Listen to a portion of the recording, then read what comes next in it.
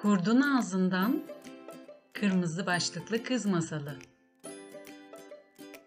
Seslendiren Betül Güler.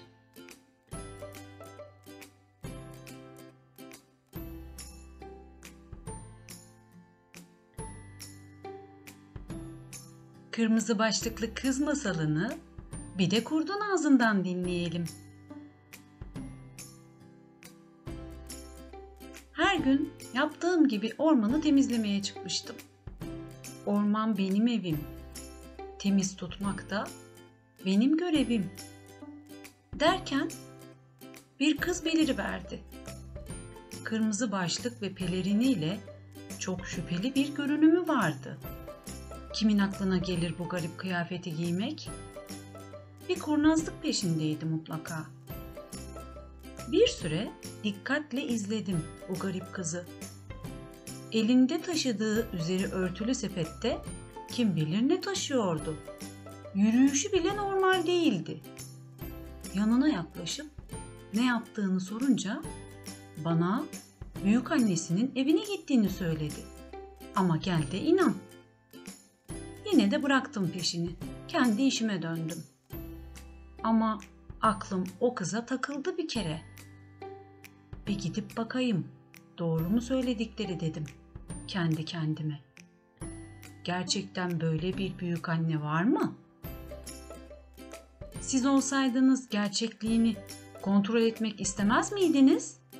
Orman benim evim. Ben hem ev sahibiyim hem de diğer orman sakinlerine karşı sorumluyum.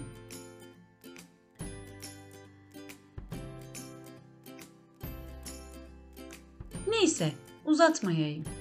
Gittim baktım ve gerçekten bir büyük anne buldum. Sorduğumda evet o küçük kız benim torunum dedi.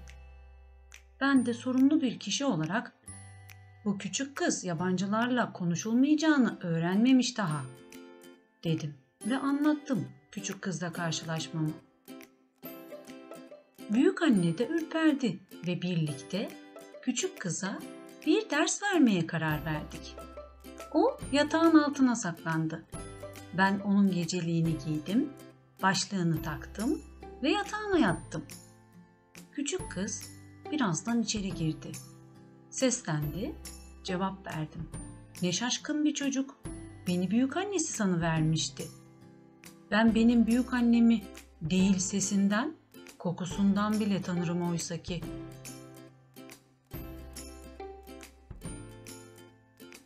Neyse bunlar bir şey sayılmaz.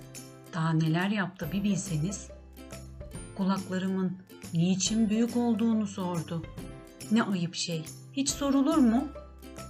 Yine de çocukluğuna verip yumuşak bir sesle cevapladım. Seni iyi dinlemek için. Ama bu sefer kalkıp da burnumun niçin büyük olduğunu sormaz mı?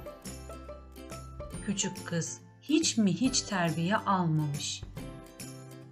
Ben zaten burnumu kendime sorun haline getirdim. Özgüvenim sallantıda. Psikologlar, estetikçiler. Dünya para harcıyorum ama nafile. Yine aldırmamaya çalışırken bu sefer de ağzımın kocaman olduğunu yüzüme vurmaz mı? Tabii ki kızdım. Siz olsanız kızmaz mıydınız?''